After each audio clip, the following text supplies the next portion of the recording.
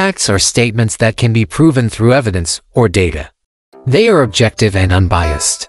Facts are different from opinions, which are subjective and based on personal beliefs or feelings. Facts can be used to support arguments and make a case. However, facts can also be misinterpreted or manipulated to support a particular agenda or bias. It is important to verify facts through reliable sources and critical thinking skills. The pursuit of truth through factual information is essential for informed decision-making and a functioning democracy.